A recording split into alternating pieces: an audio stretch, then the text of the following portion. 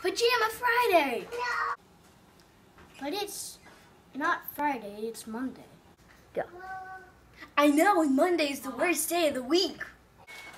Yeah, Monday is the worst day of the week, but it's not Friday. Listen, I was just trying to be optimistic. Monday's horrible